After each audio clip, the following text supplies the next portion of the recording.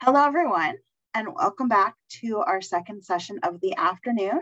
My name is Kathleen Edwards, and I am the Education Manager for Family Councils Ontario. My pronouns are she and her. And before we get started with the next session, I want to take a moment to send uh, and just to recognize and thank the individuals who are part of the Family Councils Ontario Conference Planning Committee.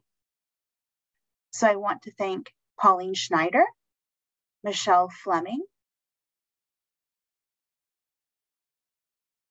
Linda Strome, Peter Munovich, Julian Morelli, Adam Pierre, Tiffany Fearon, and Samantha Peck, who are all part of the conference planning committee and who helped to uh, organize the amazing schedule of sessions that you're going to be enjoying over the next few days. So I'm excited to introduce Alison Kilbourn from the Ontario Caregiver Organization and her session, How Family Councils Can Support Essential Care Partner Programs. I'm going to share a little bit about who Alison is. Alison is the manager for the Essential Care Partner Pro Partner Support Hub at the Ontario Caregiver Organization. Alison has over 10 years of leadership experience in home and community care and a history of working in the community health sector with seniors impacted by poverty. She is an ex- she's experienced in the development, management, and evaluation of programs and services that support caregivers, as well as seniors living in the community. She is passionate about promoting health equity and collaboratively creating system wide solutions to improve the lives of caregivers and those they care for. Most recently, she's worked alongside health systems partners to support caregiver inclusion and improve the caregiver experience across settings. So without further ado, I will introduce you to Alison Kilbourn, who will be speaking for this afternoon's session. And when you have questions, please feel free to type them in the chat and we'll do our best to get to them during the Q&A part of this presentation. Take it away, Alison. Hi. Hi, everyone, and thank you so much, Kathleen, for that very warm welcome. Uh, it's really lovely to be here today and uh, be with everyone. Thank you so much for having us, Family Council Ontario. Uh, I'm absolutely loving the theme as well for, for the whole conference this week, and really excited um, to, to be part of it. So without further ado, I will um, share with you my presentation and we'll get going. Bear with me while I get it up on my screen and move all of my pieces so they're not in the way. Oh my goodness. There we go. Okay, so hopefully everyone can see, uh, see it, it all makes sense.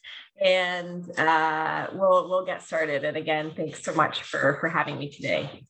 Um, I want to start off by just kind of providing an overview of what I will be talking about today.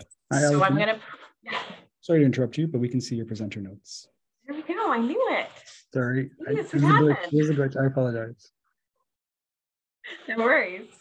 Okay, we're going to do it again. Try again here, folks. Here we go. Okay. So uh, I'm going to try it again. Nash, tell me now. Can you see my presenter view now? You see your notes, yeah. Never mind. We won't do those then. Okay. All right, everyone, thank you for bearing with me. Um, so I'm here today to talk about how family councils can support an essential care partner program in your long-term care home. Uh, here's an overview of what I will be talking about today. I'm going to start by really introducing uh, the Ontario Caregiver Organization. Some of you might not be familiar with us and talk a little bit about how the Essential Care Partner Support Hub started uh, and how we came to be. then I'm going to really focus on, you know, really understanding and setting the context for um, how caregivers are absolutely critical to the health and well-being of residents in long-term care and then in the healthcare system overall. I'm going to also talk about, um, obviously, like what is an essential care partner program, and in particular, how can it help to advance uh, person-centered care? And throughout the presentation, I'm going to highlight key resources and tools uh, you can use as a family council, long-term care homes can use, uh, others can use to either promote buy-in or uh, kind of uh, introduce the idea of an essential care partner program, implement a program, or improve one if you already have one in your long-term care home. So First off, I just wanted to introduce you to the Ontario Caregiver Organization. We are a nonprofit organization, and really um, our sole purpose is to uh, improve the lives and support Ontario caregivers caring for uh, informal, those informal family caregivers, having relationships with uh, families and supporting folks across Ontario, across a number of care settings, um, and with without um, kind of barriers towards any kind of disease diagnosis, um, setting, and really understanding that those caregiving relationships can look uh, and feel very different uh, across uh, the lifespan. We do this in a number of ways. Uh, at, at, the Ontario Caregiver Organization, we provide caregiver and public information about, um, about the um, caregiving as a whole. We also provide direct caregiver programs and services, and I'll highlight a couple that we um, that we have that might be uh, particularly relevant. Um, we provide caregiver insights and engagement. We have a wonderful caregiver advisory panel that we work with and really work alongside caregivers to not only infer, inform the development of our own tools and resources, but also to help provide um, insights to government and other key stakeholders, in particular in the health system. We also do a lot of public awareness to really ensure that everyone has an understanding of um, the caregiving role and what that means, uh, what that means for caregivers in Ontario. Finally, uh, we also do system outreach and collaboration, and this is um, really relates to the Essential Care Partner Support Hub, and that is where our work has primarily evolved from this existing space. Um, and that's the focus of my work today is really talking about in terms of the work that we've done in this area, how we can continue to support the inclusion of caregivers um, in long-term care home spaces. So the Essential Care Partner Support Hub is a new initiative at the Ontario Caregiver Organization. Um, this is a new initiative that we are doing in partnership with Ontario Health. And the Support Hub really allows us to provide support to Ontario hospitals and long-term care homes who are planning to implement or even enhance an essential care partner program. Um, this uh, concept really is um, a longer term vision to support the adoption and implementation of essential care partner programs across multiple healthcare settings, but we have uh, an initial focus in hospitals and long-term care. As part of the support hub, we offer guidance and coaching to long-term care homes, leading practices based on organizations, including long-term care homes and hospitals that have successfully implemented. And I'll, and I'll be taking us through some of those leading practices today. We also have resources, tools, and templates, connections to settings and peers that have implemented, um, and opportunities for learning and ongoing knowledge exchange. The knowledge exchange in particular is really um, where our work um, started and, it, and where the Essential Care Partner Support Hub has evolved from. Um, now I'm going to kind of, um, before I move forward, I will do a little bit of a poll to see um, where folks are at and really get an understanding of um, the, the, folks here today, your knowledge of essential care partner programs, if you know about them or if you don't, if your home has one in place or if you did. Uh, I'm just curious to know um, how that's sitting with folks today uh, before we get started. So if we could launch that poll, um, and if hopefully that works, uh, please take a minute to um, to answer uh, to answer the polls, and we will um, get a sense before we move on what, uh, folks are thinking. We'll just take a few minutes here as we answer. You can just um, click on whichever button makes sense for you. Um, and this gives me a really good sense of uh, where things are at uh, in the in the audience today.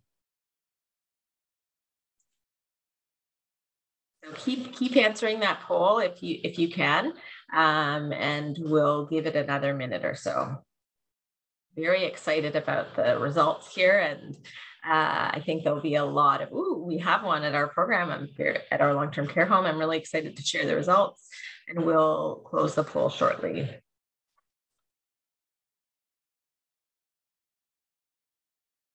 Just give it uh, one more minute before folks are uh, closing the poll.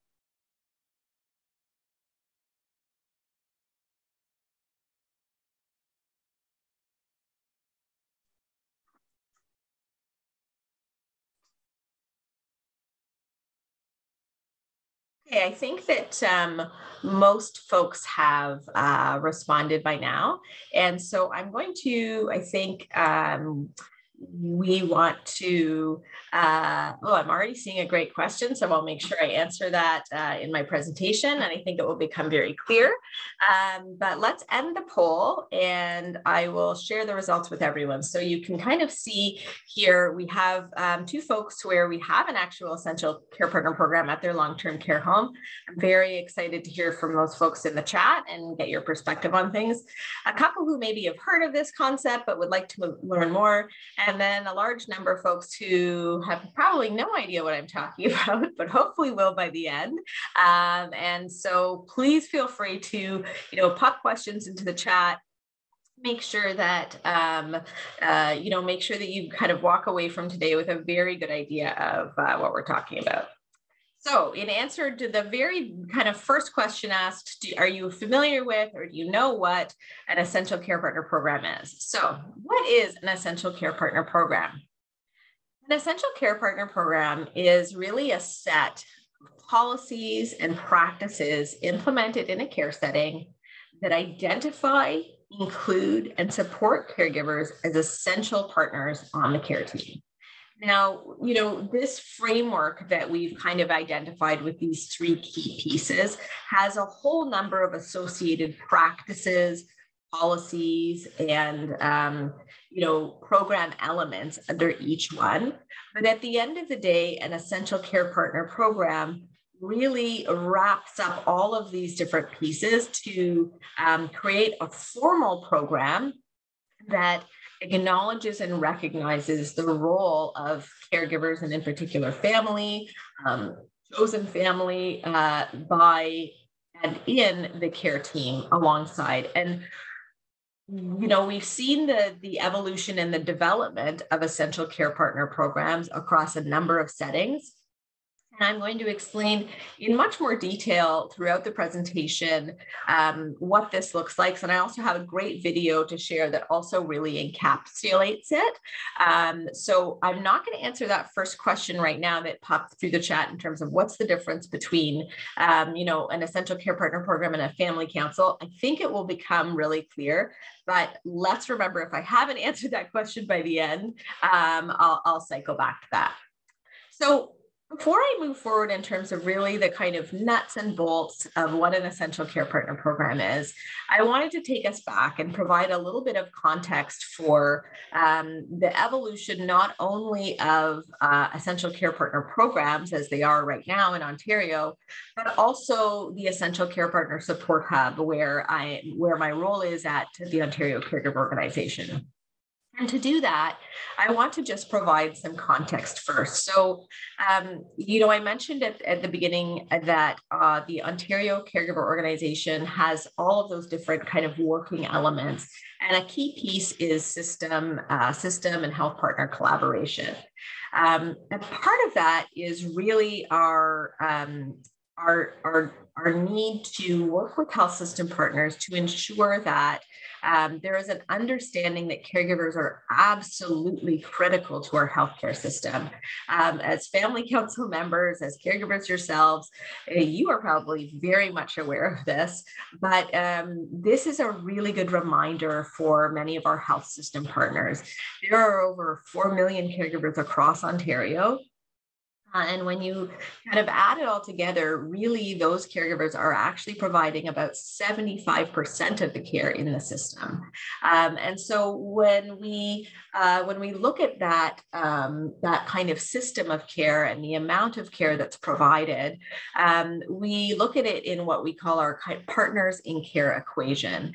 Um, this equation means that residents or patients or clients, depending on the setting you're in, plus caregivers and care providers, team members, staff, all of those make up uh, folks uh, that are important to include in that partners in care approach. So that's kind of the, the backdrop and the context that, that we're working in. Now, this became really challenging in the pandemic. Um, and I, you know, I don't want to kind of spend too much time here, but it is important in terms of thinking about it from an origin story perspective uh, or a little bit of context for, you know, how we got to today and how we, we formed the Essential Care Partner Support Hub. So, as many of you are probably very, very familiar with, um, at the at the beginning of the pandemic, visitor restrictions were put in place. Um, uh, any access restrictions in general uh, were put in place uh, in order to protect and to protect the safety of uh, patients, residents throughout the healthcare system. Um, you know, very shortly after the first wave, um, there was a deep uh, uh, and, and got to be a deeper understanding that this had a profound impact, not only on um, the families who weren't able to see uh, their care recipients, but on patients, on residents, on folks folks who, who were not able to have their family by their side. This uh, bar graph is a clip from uh, one of the reports released by the patient ombudsman, which captured, uh, you know, the the number of complaints. And the top complaints, of course, in long-term care homes during that time was related not only to infection prevention, but the visitation was was up there as well as communication and and other and other issues that um, that have been longstanding issues. So um, this really kind of takes us back to um, to kind of the start of the pandemic. And in fact, when um, when that started, the Ontario Caregiver Organization, in partnership with the Change Foundation, began a learning collaborative. And that learning collaborative um, was an interactive forum where all um, health settings could come together. In particular, hospitals and long term care homes could learn from each other and really uh, try and come up with creative ways to enable the safe presence of um, caregivers and family members, even with uh, outbreaks or visitor restrictions in place.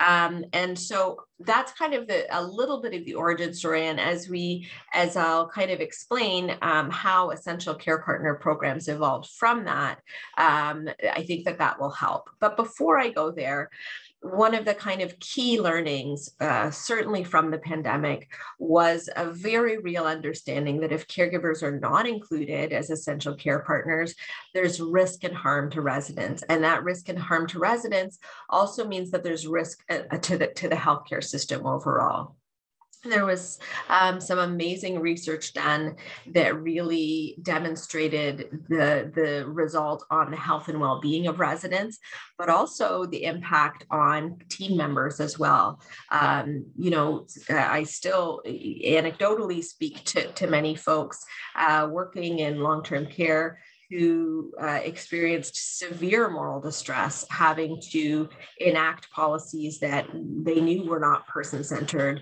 and um, really struggled. And the amount of moral distress experienced um, was profound.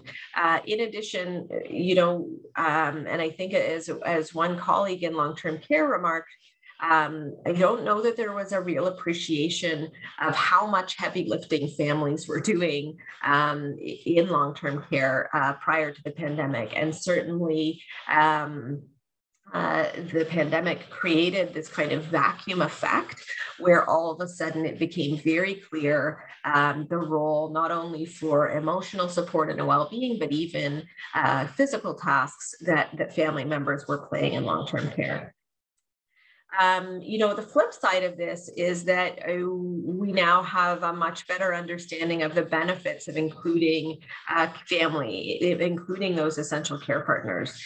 There's a lot great evidence related to, you know, the improved quality of care that's provided, improved patient and resident outcomes, improved health quality indicators definitely improved working conditions for healthcare teams, and that means less pressure overall in the healthcare system.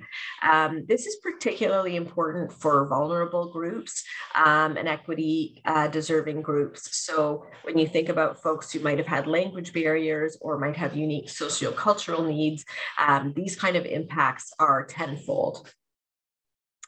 I want to focus on and provide a little bit of a spotlight on some terrific research that was done from the Bruyère Research Institute, um, as well as Ontario uh, Centers for Learning, Research, and Innovation in Long-Term Care.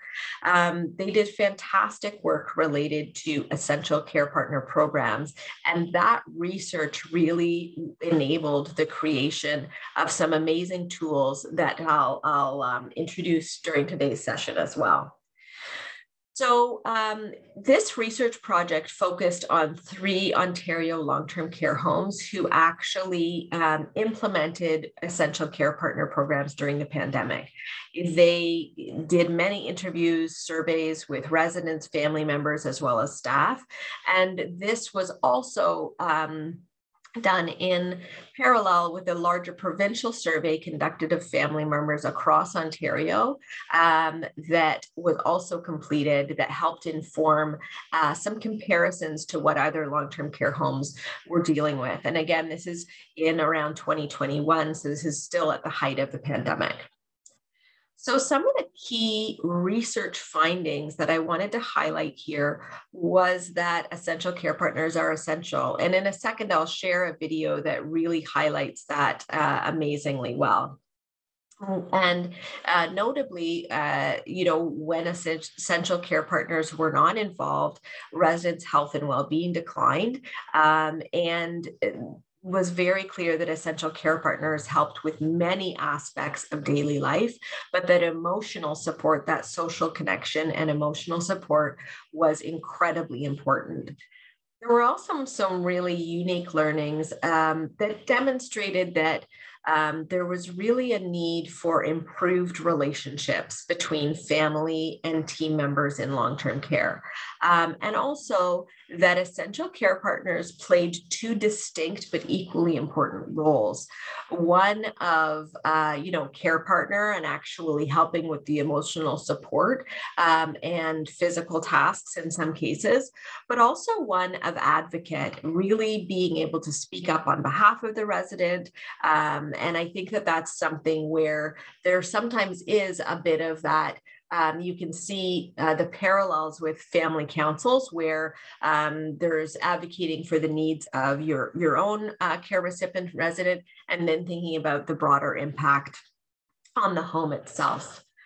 Um, so I want to share this video now and I'll, we're gonna all cross our fingers that I can pull this off technology wise. So I'm going to sh uh, share my, my screen now and we'll make sure that this works. It's about a 10 minute video and it, it's a really great demonstration of um, not only the research, but what essential care partner programs look like and what they will look like in the future. I'm going to stop sharing my screen for a second and reshare um, because I want to make sure that I'm sharing my audio and that that's going to work perfectly. So bear with me here. Here we go. Family presence in long term care has really gone for decades as an unacknowledged contribution to people that are living in long term care. People move in and they become a resident, and they still depend on and look forward to and rely on the people in their lives from uh, before they lived in long term care. And it was really during the pandemic that there became formal acknowledgement of the contribution of family members and friends and, and just how important those people are to the people who live in long term care. In March of 2020, life did change, and the fear of COVID caused people to tighten up and cause restrictions and prevent families from coming in. And that came from a good place to protect loved ones. But it did not take long to see that we were going about this the wrong way and something had to change. So designated care partners, or DCPs as we call them here at Bruyère, are also called essential care partners, ECPs, and other organizations. And what they are, uh, family members, friends, anyone the resident feels comfortable to have come in and be part of their care team to provide different aspects of their care.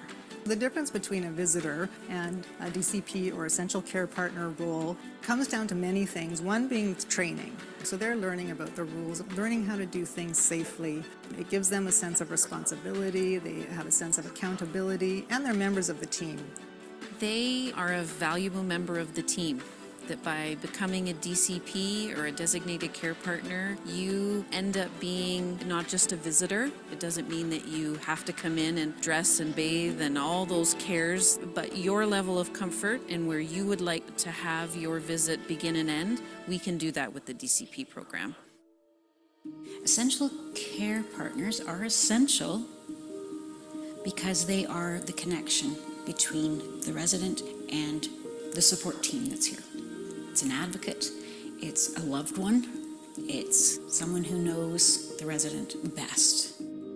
It's important to make the DCPs really feel part of the team because one, it all comes down to the resident and they are the best advocate for the resident. There's also the fact that they become comfortable to know to whom they can talk to when the residents need something.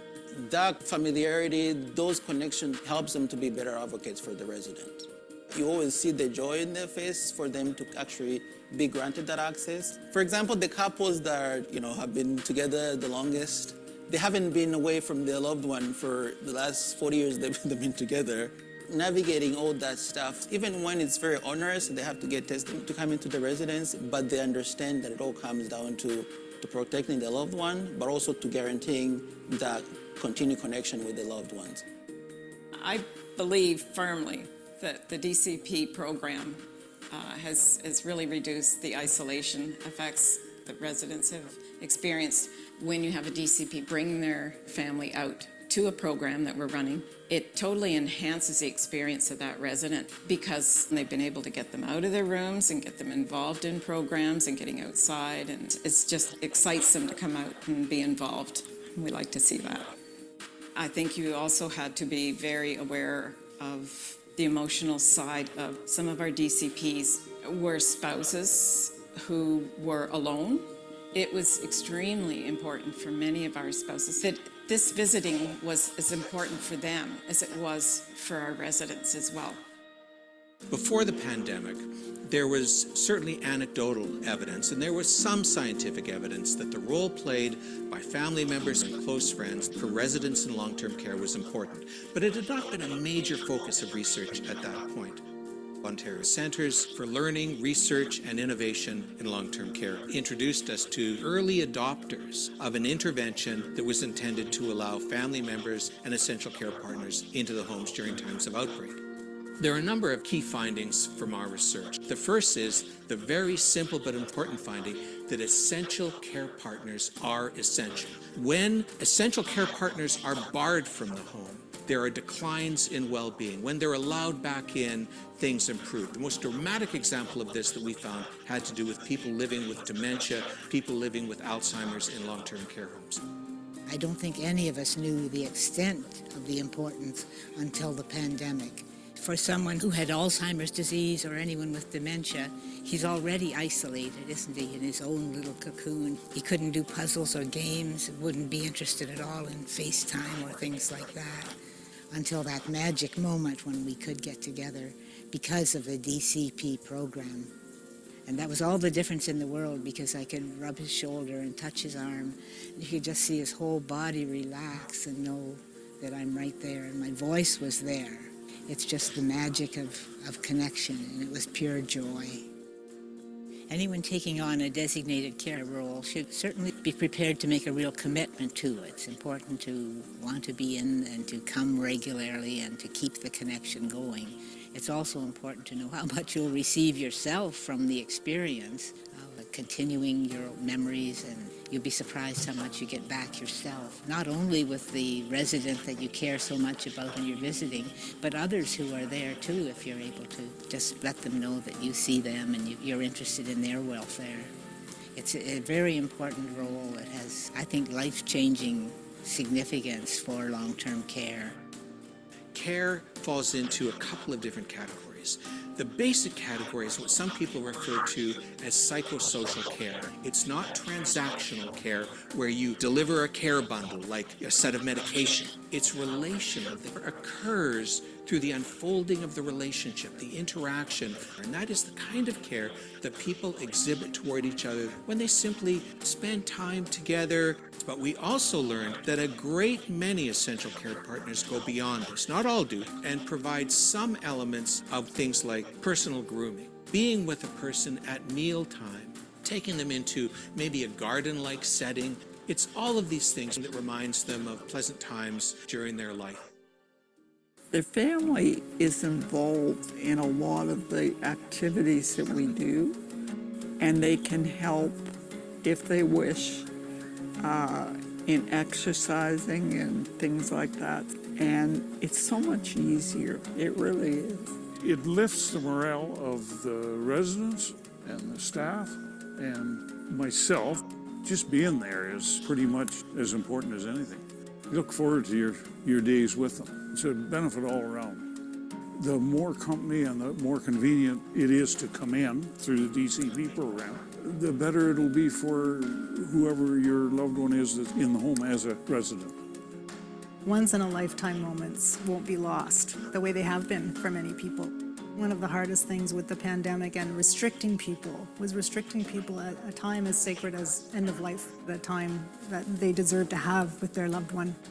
Thankfully, I witnessed a resident's 100th birthday, and without the DCP program, she would not have been able to celebrate with her family members. If there was anything I wanted anyone to know about the DCP program is that it is a win-win. Um, the, the, time given to the training is going to be given right back in that time spent with loved ones. For anyone who is reluctant to consider being a DCP, with the training and support from the team, they will learn very quickly that they are part of the team.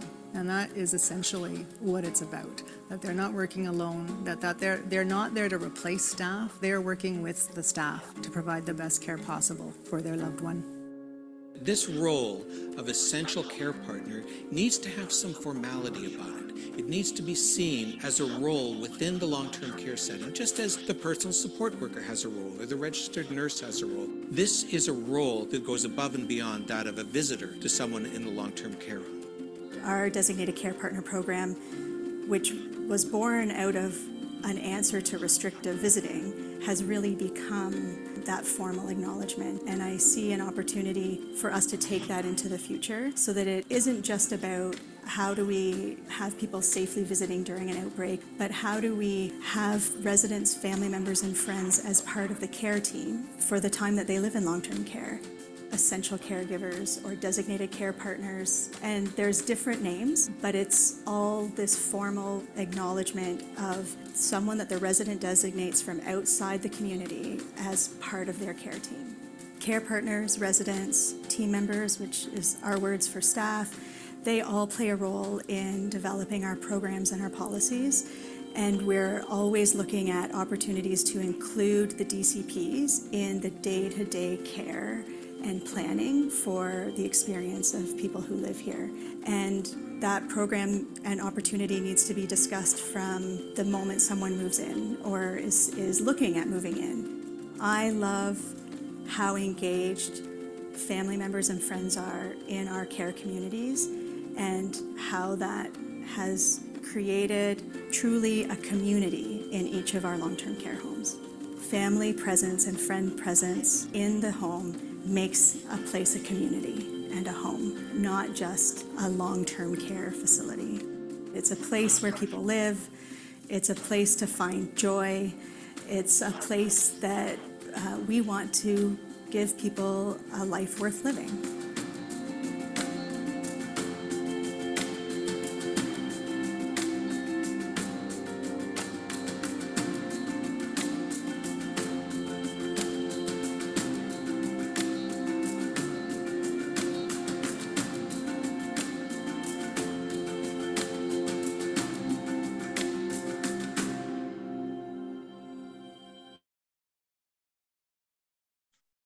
So uh, thank you so much for watching that. I hopefully it actually worked and you were able to see most of that. I think that there may have been some technical difficulties, but hopefully we managed. I'm going to reshare my screen. I see um, see a great uh, question already um, from from Robert around um, really highlighting the fact that uh, know everyone does need a, uh, an essential care partner or a designated care partner.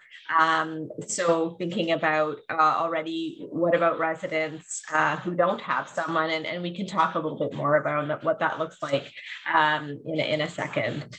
Um, so I'm just going to reshare my screen and we will, um, and I'm just going to take us to the next uh, point with our presentation here. So, um, oh, I don't want to be on that slide. I want to be down here for a moment. So, um, oh, just wants to take me through the whole thing. Um, so, all right.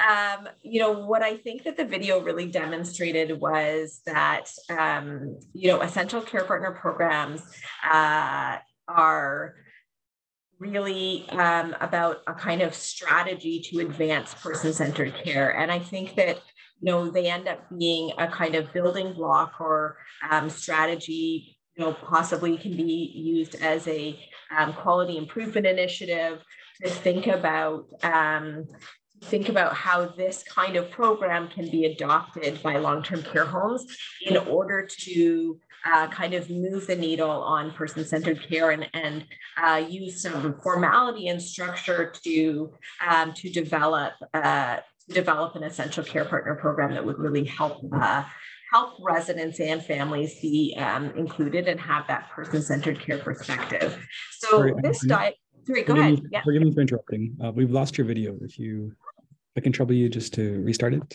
Yeah, sure. That's so weird. Okay thing. Yeah. Let's see. I'm going to stop. Oh, that's so weird. I wonder when that happened. All right. I'm happy to start again here. Mm-hmm. Sorry about that. No, not, not a problem at all. I probably pressed some button in on the in in my in my sharing. Okay, so hopefully you can see me and um and and we're all good. And Dinesh, feel free to jump in uh, jump in as needed. Yeah, maybe it's my screen, but I'm seeing some black boxes covering the screen share of the video. Have you closed the video itself, the other video? Yeah, sure. It's so weird. Yeah, it's really weird. I don't even know what other video it would be. I'm gonna close all my windows. That works. Okay. Thank you everyone for your patience. We are testing out Zoom events. You're kidding. Very funny. Okay, one second. I've closed my presentation and now I'm going to reopen it again and fingers crossed that it'll work. Great. Otherwise, I'm happy to just chat with everyone. and I love all the questions and I love all the questions so far. So hopefully uh, this is making sense for everybody. Thank okay. you for being amazing, awesome. We appreciate yeah. it. Of course. Okay, let's try this again. Fingers crossed. You see? Uh, there's still something covering it. I think it's from the video. Um, I'm not sure what's why it's blocking. Or... It's so weird. I don't know. I don't know. So it, it's blocking the actual screen. Mm-hmm. Is that is it is it just me or is it can others folks see that? Okay, so others can see it too. Yeah. That's really strange. Okay. Okay. I'm gonna, We'll just continue on. I apologize for what's happening, but that's very strange. I love like the technology has uh how how much is it blocking? Like, can you not see like the actual words on the slides? uh, it's just the bottom right. But I think um, if you might have some windows open or little boxes, like I don't yeah, have any other. Yeah, I don't have any. I only now have PowerPoint open and my and our Zoom. What about your screen share? Yeah, I am not sharing my screen currently, right? Right. What can you check? Yes. Okay. Let's try this. That black box is still there. It's part of something. Um, Really weird. You click on Zoom, please. yes, sure. Yes. Is this it? Is there anything on the right that you see, Uh, like a box? No, I don't see anything. My see the box. screens. So strange. Okay, I'm just gonna keep going at this point. I apologize to everyone. Uh, and thank you for bearing with us. I don't see anything else on my screen, but that's okay. Um, I'm gonna just keep going, being very strange. Okay. Every time it has to take me through this. Okay, so this kind of diagram, even if you can't see everything all together, uh, kind of takes us on a bit of a journey in terms of kind of person-centered care and how essential care partner programs fit into the bigger picture. Um, so we see kind of for sure around growing evidence of the role of essential care partners, but then this moment in the pandemic and the video really depicted that well of really understanding the impact uh, of what happens when essential care partners, family caregivers are not involved. Um, really now understanding around the supportive role of care partners um, and spreading and scaling leading practices related to essential care partner programs that we can kind of try and address the inclusion and the need for um, understanding um, uh, the important role of caregivers. Uh, and I would say that's kind of where we are now. Um, and that's really the role of the Essential Care Partner Support Hub. And then finally, thinking about um, the future stages in terms of how care partners can continue to be empowered and participate across all care settings.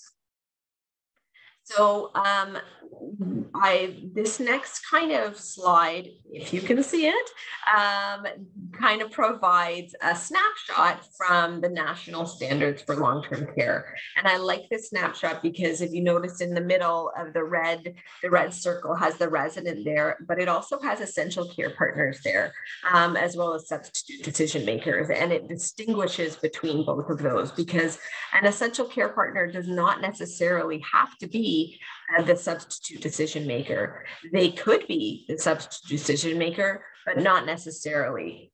So um, I, I think that, um, you know, uh, uh, there's a number of kind of key pieces here related to um, how essential care partner programs can um, align with the national standards, support compliance, obviously, with the Fixing Long Term Care Act, but also do a lot of other kind of very tangible things uh, in long term care, improving quality of life and well being for residents, and then, of course, improving um, that um, relationship between resident and families, uh, and that uh, as well as uh, care teams and enabling that kind of culture uh, of resident uh, centered care.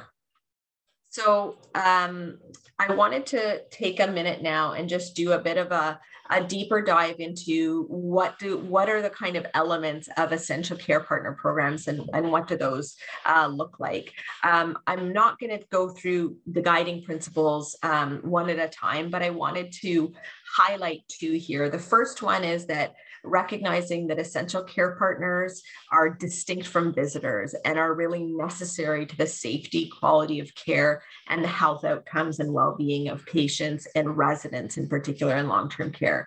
Uh, so when we think about this, you know, visitors of course play an important social role, but recognizing that essential care partners are in fact distinct and different um, and that they play that critical role for the health and well-being of residents. And then finally, the last guiding principle I wanted to highlight here was the importance of meaningfully engaging care partners and patients or residents in the case of long-term care in the design and the development of policies and practices. Um, this is critical. And I think that this, this uh, guiding principle in particular is where family councils can play a huge role. So, um, I'll, and I and I will uh, kind of highlight a couple things at the end that I think that family councils can kind of walk away from today and think about uh, how to move this forward if you are interested. So, I wanted to now move to thinking about um, leading practices that we've developed. So, these leading practices are really a combination of what we've seen, what the collective work that we've seen from many early adopters, uh, including uh, those three long-term care homes uh, that um, exhibited in that um, video, uh, the research that was done through the um, Ontario CLRI, uh, as well as a kind of uh, kind of environmental scan and overview of all the practices done related to essential care partner programs. And so what we've done is group them under their kind of three pillars. So identifying the caregiver, including the caregiver as part of the care team, and then supporting the caregiver. So I've highlighted a couple of examples here, but I'm actually going to kind of do a little bit of a walkthrough um, related to each leading practice uh, not each leading practice, but each kind of category, highlighting a couple. Um, and then I'll also highlight a number of resources or tools that might also be helpful to think about to kind of connect the dots between um, what are the kind of resources and support that, that the Support Hub offers, um, because we want to make this as easy as possible for long-term care homes to implement or improve. So in terms of identifying the caregiver, um, this is really making sure that the um, resident themselves or their substitute decision maker has an opportunity to designate um, an essential care partner. So they need to, in order for that to happen, they need to be informed that there is there, there is an essential care partner program. Um, this is a great opportunity for residents with a planned admission to identify their essential care partners in advance. Um, um, and really understanding um, that that that's necessary for their involvement um, in the care team as they move forward. Um, one of the one of the tools that we've found really helpful is the use of a caregiver ID template. You probably saw some of those badges that were used in um, in the video, and this is actually a badge that was adapted from materials originally created by the Change Foundation um, a number of years ago, and that OCO has adopted, and that we're spreading across Ontario. So, this is a kind of badge or ID card, a template that we offer organizations um, that they can use to incorporate into a badge that identifies caregivers and really is that concrete way to recognize and facilitate their role uh, as partners on the care team. The other piece I wanted to highlight here is the point around inclusion. So really including the caregiver as part of the care team means that um, there's a number of pieces in place to enable that. So the first is I would say is around policies. So what are the policies that support um, presence and inclusion as part of the care team? How have staff been trained or educated in order to um, make sure that they understand the value that caregivers bring to the table? Um, how have caregivers been integrated into, uh, into workflows within the home? Are caregivers um, included in care conferences, in family meetings? Are they prioritized? Are they able to speak? Are they on the agenda? Is their voice included in those daily care team um, kind of uh, processes. So this is really about, you know, care team moments, um, inclusion, and and being listened to by by staff.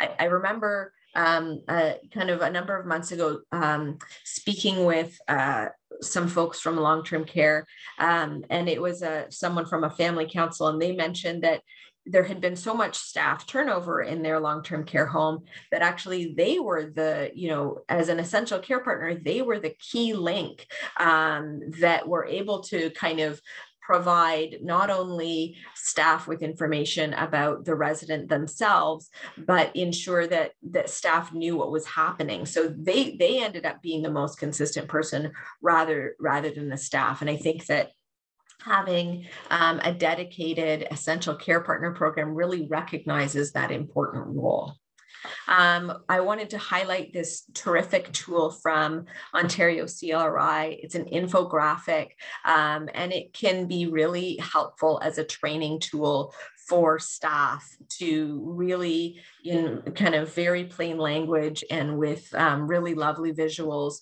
um, show and demonstrate the importance of essential care partners in, in the role um, that they play with residents finally, support for the caregiver. Um, what we really find here is this means a number of things, but I want to highlight a couple here. It means that the care partner themselves is provided some kind of process for onboarding or orienting to them to the long-term care home. Um, you know, did um, you know, beyond just a tour of the home, um, how do they find out about important things that they need to know in order to really be involved in the care team? Um, and also, what kind of education or training are they provided, not only in terms of hands on support, but also how are they linked to support for their own well being? So, are they provided with um, uh, kind of resources or supports that will really help them? Um, cope uh, in terms of their own caregiving role.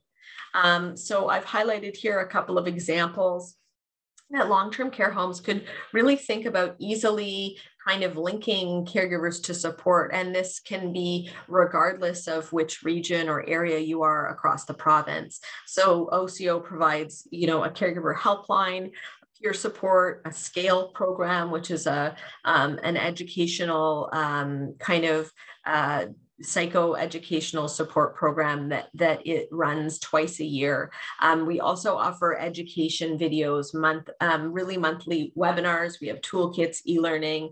Um, you know, one long-term care home that I was um, that I was speaking with uh, was thinking about offering a monthly their our monthly webinar uh, to um, in a in an open space and inviting family caregivers to attend. So things like that really help connect the dots between recognizing um, that those family members in long-term care also need support and that the long-term care home can be a real connector to that. So uh, what I thought is I kind of uh, kind of wrap up um, and answer any other questions. I'm curious to know how are caregivers identified, included, and supported in your own long-term care home, um, and would be more than happy to hear some thoughts in the, in the chat. And so keep those coming in, and I'll wrap up, and then we'll kind of move to the questions and make sure um, I've I've added I've answered everyone's question. I wanted to highlight a couple of resources that I think are particularly helpful, and I'm happy to send any of these as follow-up pieces or um, connect with you afterwards if, if, you're interested in learning more. Um, so we have some great resources that are helpful to kind of gain the buy-in from long-term care home leadership. So we have a business case for uh, long-term care homes for why they would want to adopt uh, an essential care partner program.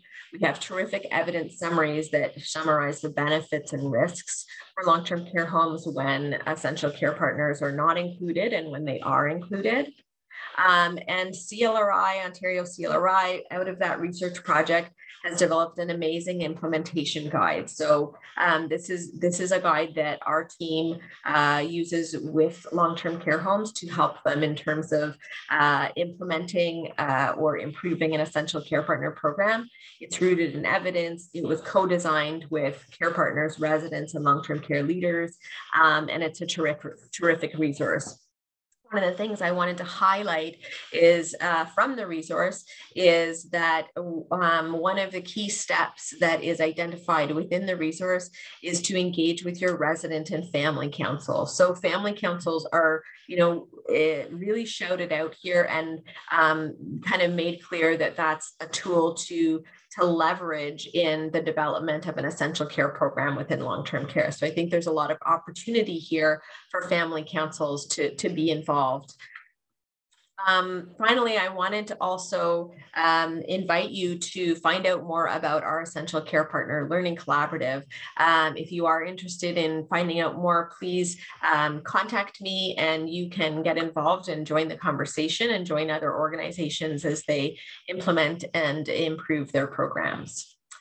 So I wanted to leave you with a couple of takeaways, um, thinking about essential care partner programs as a real strategy to build better relationships between team members and families, um, a strategy to advance person-centered care, um, and that family councils can play a kind of really critical role in terms of initiating or implementing or supporting the implementation or improvement of an essential care partner program.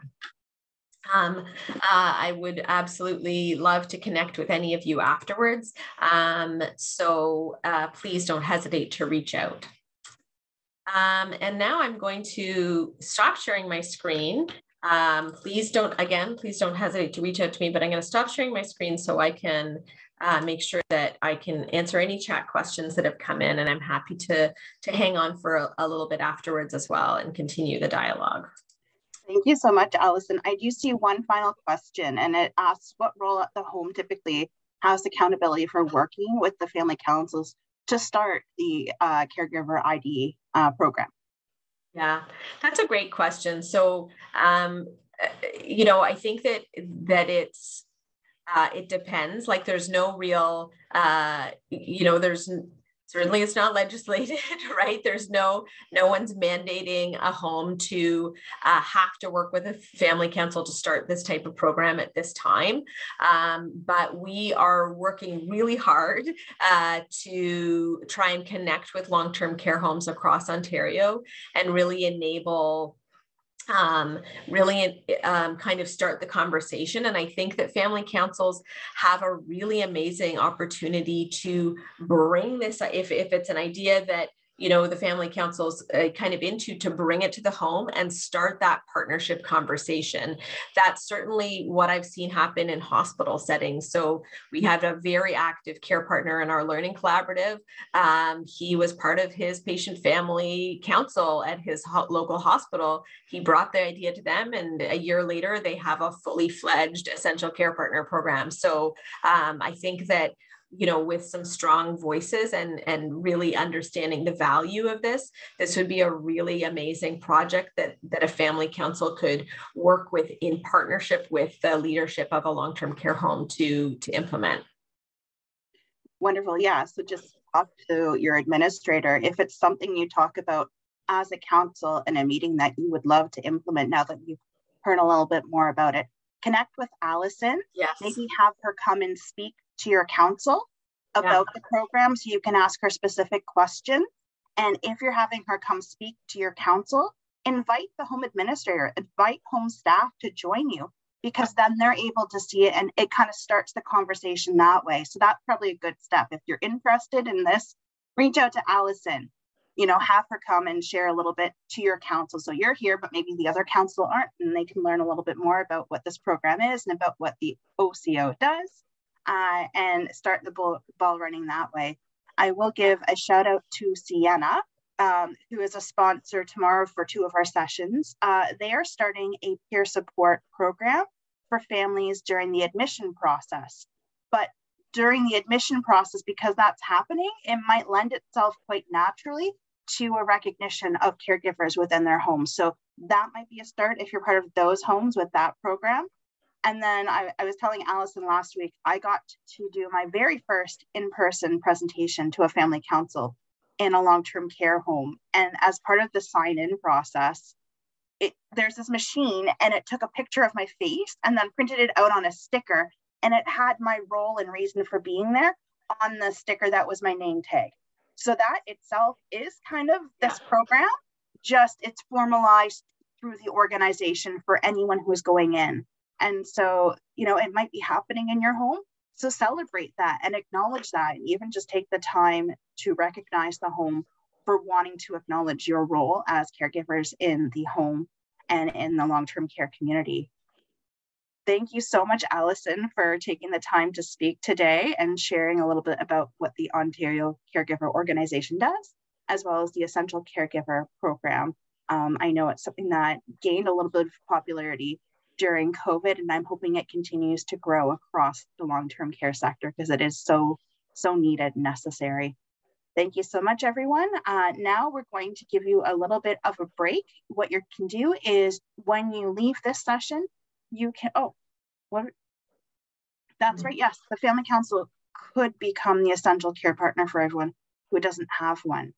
Absolutely, Bob, because councils can talk to residents councils as we're going to hear tomorrow and learn a little bit about residents' needs are and especially if you review the resident council minutes and you notice that the home is not acknowledging a concern that's come up two or three or four times, the council can also add their voice to it. Um, so yeah, thank you. That's a great idea, Bob. Um, what criteria are used to validate an essential care partner? Frequency of visits, extent of care involvement. How is that measured? Have you considered identifying essential care partners that might be isolating those caregivers who don't meet the definition? That's a good question, Julia. That's a good question for Alison. Yeah, well, um, I guess maybe before we wrap up, I'll quickly answer that. Um, you know, certainly as part of our leading practices, we um, we don't we we almost actually don't define it. I think the only thing that we define it as is that it's someone your resident designates right? The resident or the substitute decision maker. So you don't have to reach some kind of test for you know number of visits amount of involvement that kind of thing. But really understanding that each uh, essential care partner relationship both with the resident and with the team might be unique right? A daughter coming to visit someone in uh, you know a, a parent in long-term care might be an essential care partner but their role might be different from a spouse who might also come. Um, and so it, I think that both are valid, um, but but each might have unique uh, tasks or roles that they that they um, that they're involved in. Thank you. So as I mentioned, the session's kind of coming to a close. Thank you so much for participating. Uh, what you can do after the session ends is you can go back to the lobby and you can chat, use the chat feature to ask any questions you might have with each other about um, family councils, about projects you have on the go, or anything else that's come up as you uh, have participated in today's sessions.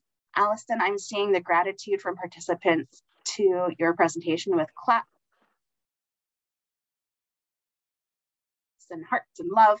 Uh, thank you so much for taking the time to share a little bit about your program and thumbs up and celebrations. Uh, and yeah, thank you so much. Have a great afternoon, everyone, and we'll see you for our final session, uh, which is focused on um, our DIRAC committee, uh, so inequity, diversity, and inclusion and what it means. So thank you so much, everyone, and we look forward to seeing you for our final session. Thanks, everyone. Thanks, Alison.